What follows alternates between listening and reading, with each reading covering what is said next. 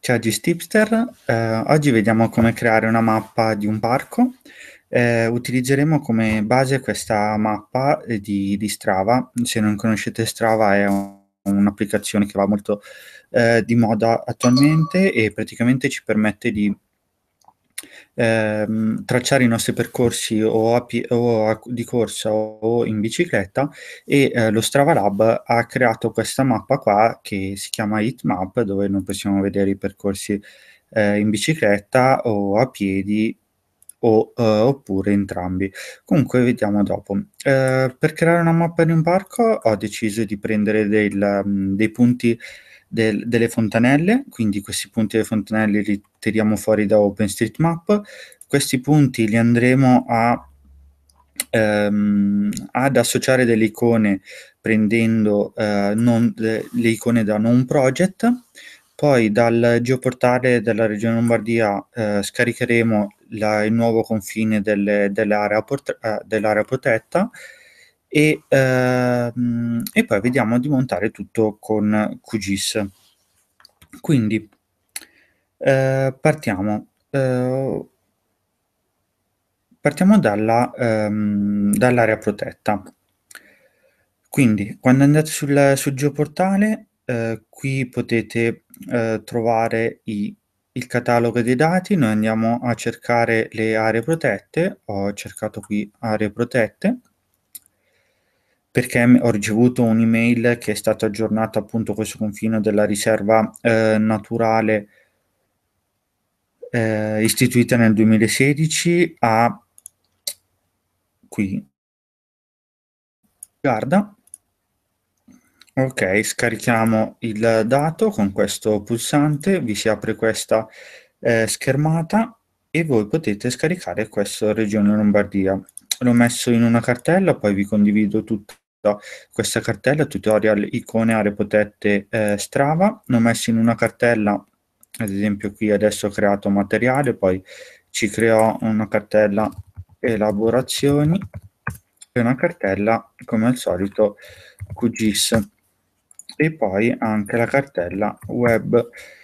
Eh, in materiale ho scaricato aree protette Lombardia, ho tutte queste questi shapefile, andiamo a caricarli subito in QGIS.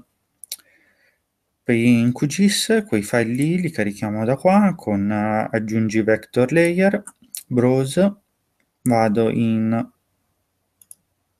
tutorial, materiale, qua se vi dà fastidio vederli tutti così non, sap non sapete quali scegliere andate qui sotto e selezionate Esri shapefile, carichiamoli tutti e poi andiamo a vedere cosa ci serve. Ok, questo qua è eh, tutte le aree protette della regione Lombardia. Carichiamo come mappa eh, di base OpenStreetMap, questo è il plugin Quick Map Service. Lui va a metterlo sotto. Arriva il Garda? Utilizziamo MMQGIS per fare il search andiamo qui e selezioniamo Google Map, Manerba dovrebbe bastare, no? Come si chiama? Manerba del Garda. Ritorniamo qua.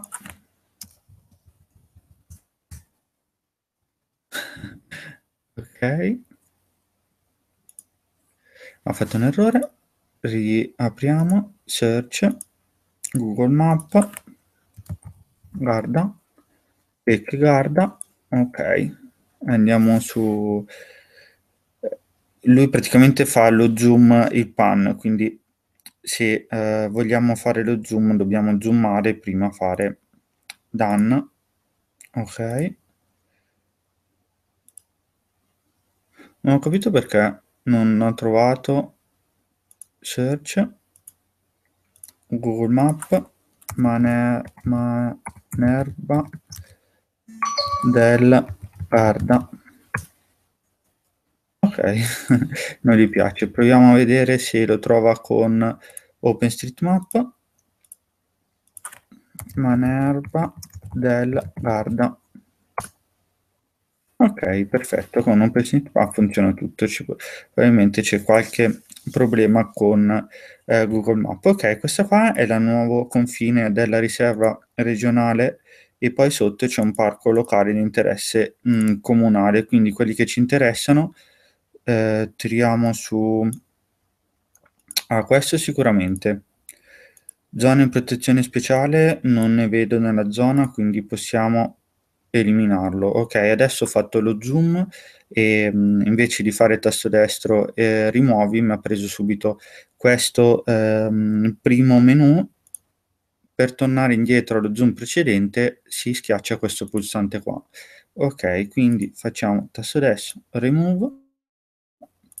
Andiamo un po' indietro perché magari c'è qualcosa di interessante. Sito importanza comunitaria, ce n'è uno là sopra, quindi magari possiamo anche tenerlo. Parchi nazionali, questo qua lo teniamo. Parchi naturali 1000 lo rimuoviamo.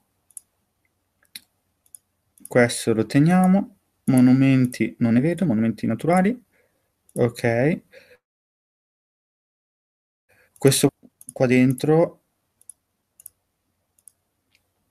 No, non è compreso qua dentro, quindi teniamo anche questo. Ehm, perfetto così per avere un un inquadramento.